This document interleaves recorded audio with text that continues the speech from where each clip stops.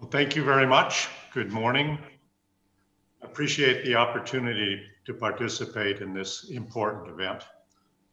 I've been asked on a number of occasions why I decided to join the case as a, a civil party. Part of my response is that I was in attendance at the rally, a peaceful, even joyous gathering bringing together tens of thousands of participants who seek a democratic and free Iran, who seek basic respect for human rights, and who seek an end to the religious dictatorship that has committed mass murder of its own citizens, true crimes against humanity. Given that the intended target of the attack was Mrs. Rajavi, the leader of the Democratic opposition. I could well have been one of the victims as I was seated only a few yards from her. But I think beyond the personal dimension, and even more important than the personal dimension, I believe as a matter of principle, it is incumbent upon all of us, individuals and governments, to stand up against terrorism in any form if we, fail, if we fail to stand up against the evil that is terrorism, if we seek to appease those who would commit such heinous crimes, we would only encourage more attacks, more crimes, and we would become complicit in that evil. The planned bombing, one that could have been the most massive terrorist attack in Europe to date, is not an isolated case or an action of rogue agents. As others have said, it is part of an orchestrated campaign directed at the highest levels of government in Tehran.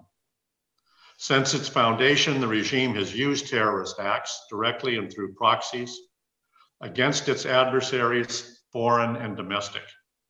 This continues today. In Europe alone, in the past few years, Iranian agents have operated and planned lethal attacks across the continent in Albania in Austria, the Netherlands, Denmark, Germany, Switzerland, Italy, and I could go on.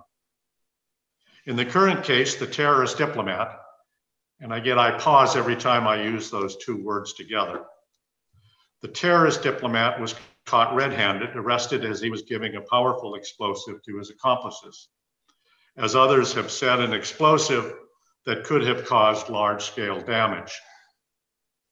Far from expressing concern or remorse about the likely loss of hundreds of lives, the only response from the jailed agent, who has been masquerading as a diplomat assigned to Iran's embassy in Vienna, has been to threaten more deaths if he is convicted.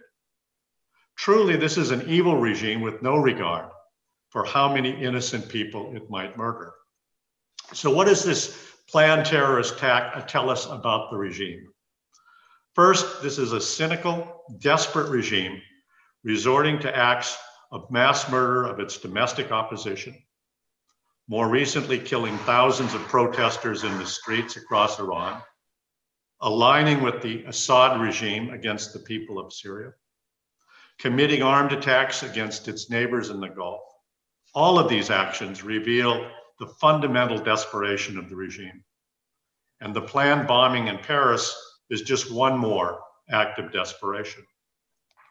Second, this is not a regime with whom we can do business, to borrow a Cold War phrase. The regime is not going to become more moderate or become a responsible stakeholder that respects the norms of a rule based international order. And third, and perhaps most fundamental in terms of understanding the regime's desperation, this is a regime that has lost all legitimacy with its own people. In fact, the Iranian people are now the greatest threat to the regime. The recent Amnesty International report, which was punctuated by the tragic and despicable hanging of Navid Afkari, the champion wrestler who was falsely accused and coerced, demonstrates for the world to see the atrocities of the regime, its barbaric torture, and the flagrant murder of those who seek a free Iran. Hoping again and again for the leadership to become more moderate is sheer fantasy. This is a regime that survives only through brutal repression, and this will not change no matter how much we may hope for it to change. And finally, what policies conclusions should we draw?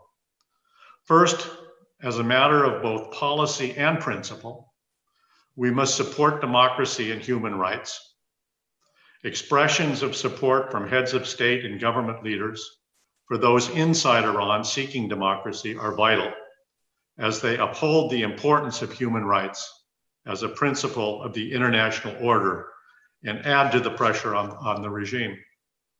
Second, we must support the democratic opposition inside and outside of Iran.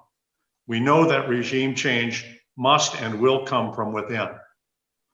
While the Iranian officials and their apologists consistently spin the line that the current regime is the only alternative to chaos in a failed state, the 10 point plan of the NCRI, calling for democracy, respect for human rights, a free and non nuclear Iran, provides a pathway for the future and an insurance policy against a failed state outcome. Third, and perhaps most timely, we must not throw the regime a lifeline that will only prolong the regime's terrorism, its regional aggression, and the specter of a nuclear breakout. We must not return to the failed policies of appeasement, a path that is often characterized as a choice of diplomacy over war, but this was and remains a false choice. We know that negotiations did not lead to a more moderate Iran in fact, the regime took the billions of dollars it gained from the JCPOA, and what wasn't siphoned off through corruption was used to fund foreign aggression, internal repression, and terrorist acts, such as we saw in the planned bombing in Paris. The central problem is not the absence of negotiations or the absence of a particular agreement. More agreements will only lead to more aggression and more brutality. The central problem is the regime itself. The parallels to the situation in Europe in the 1930s, at least to me, are striking. Let me stop there. Thank you again.